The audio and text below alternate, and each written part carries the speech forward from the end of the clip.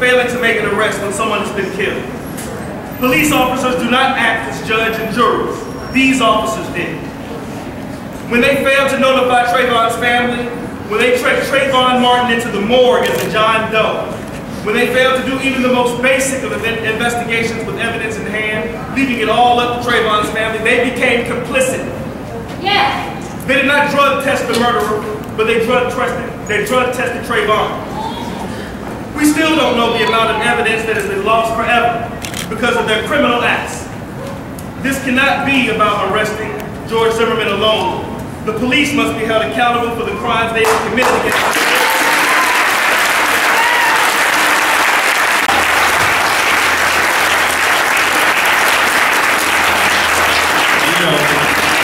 as this has been going on, have conversations about it. It's been hard to think about it. But we got you, and I'm so glad to see all of you all here saying that we no longer are going to let this happen to our young black boys or any of our kids. So I'm going to read my remarks, and hopefully this hits somebody up. So first I want to thank every last one of you all for your love and your support of Trayvon Martin and his family. This is the kind of love and support that all of our kids need to feel each and every day as they make their way home to school or wherever they're going. This is the kind of love and support that communities need to put behind every single kid that we have so that they know we got their back, right? I also want to thank everybody for sporting their hoodies, right?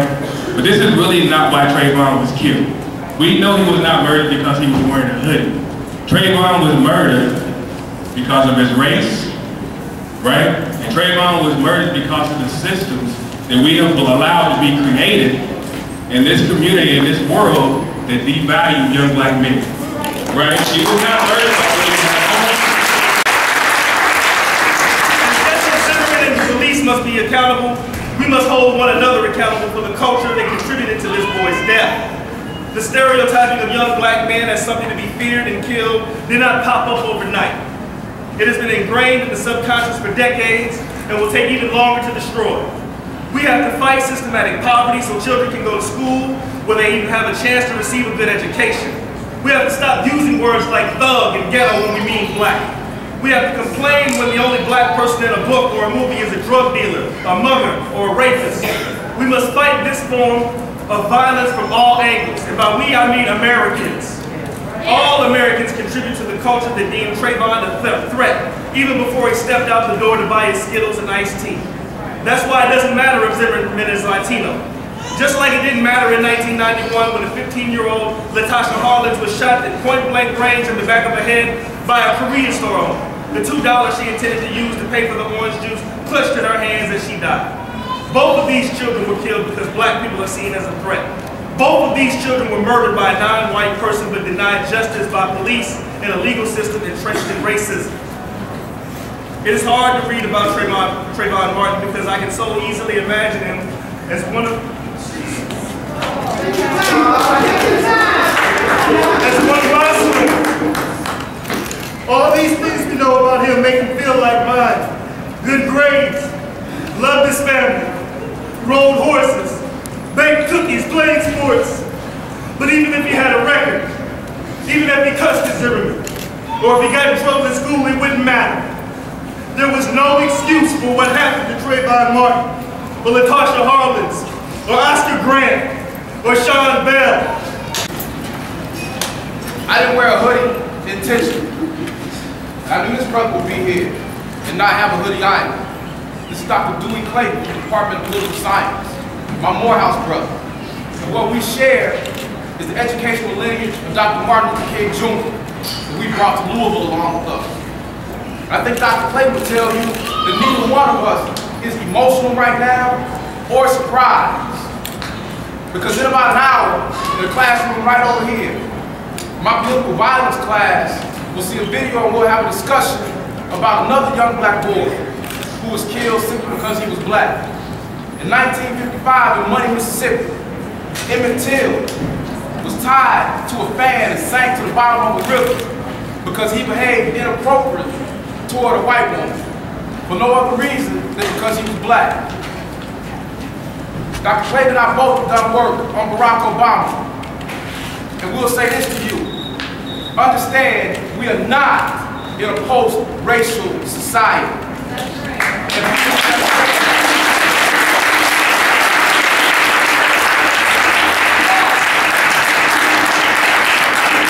I don't want to talk about Trayvon Martin specifically. Understand, Trayvon Martin is all over this country. In every state, every city, from northwest to southeast. Every day. The great thing about Trayvon Martin is that this is made public, something that we've suffered in private about for years on end. People understand this. Right now, understand the situation that black people in this country. In 2012, not 1912, right now, black families only earn about 60% of what white families earn. Keep that in mind. Black men are only about 5 to 6% of the population, but we make up almost half of the jail and prison population in this country. Quantitatively, there are more black men and boys in prisons than there are on campuses of colleges and universities. Right now, 2012, before Barack Obama was elected, and after, this country talks about we couldn't let the unemployment rate get to double digits. Before the economic downturn, black unemployment was over 13%. Right now, it's over 16%. Black male unemployment is bordered on 19%. This is what we're dealing with in this country.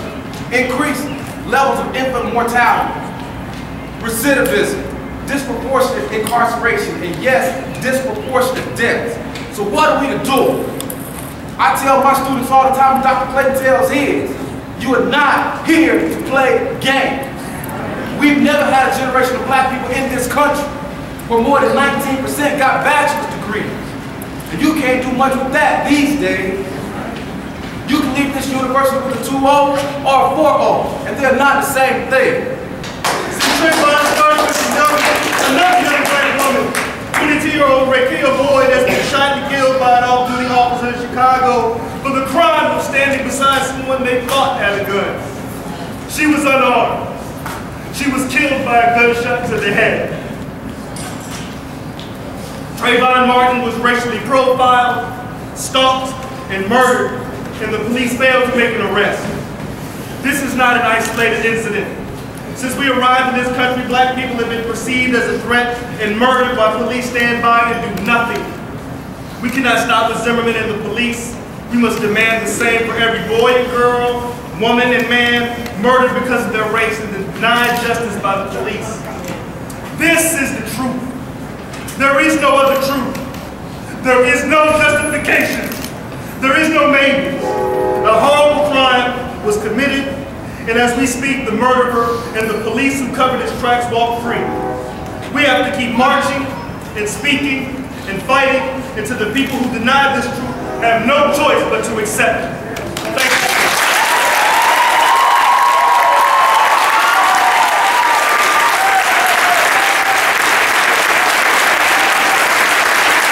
away from this moment is something that Dr. Johnson today, and it's America fulfilling the promise that it made. Um, the Declaration of Independence says, we hold these truths to be self-evident that all men were created equally. Um, and since the inception of this country, African Americans or enslaved Africans have been fighting to get that level. What do we want? What do we want? This is Tom Moffat from the Kentucky Alliance. Please give me your attention. I just wanted to say to my fellow white people in this audience, let's be thankful for the leadership here today, but let's not let this stay in the black community. playing field, and it is time that we make true uh, or make real the promise that we made beginning. Um, it pains me to know uh, that someone walks free from a crime that is so heinous. And since the inception of country, we have been considered the barbarians, but we have to question what does it mean to be barbarian? The sad part about it is we still have it. My name is Demetrius Michi Simmons. I'm the president and founder of the Planet Better Performing Arts Organization. I just want to invite everybody out here to our uh, Voices for Trayvon open mic that'll be happening at the College Coop on April 3rd. at 7 p.m. It's free. Come out. It's going to be an empowering experience for everybody. Again, there's voices for Trayvon. Just search it on Facebook.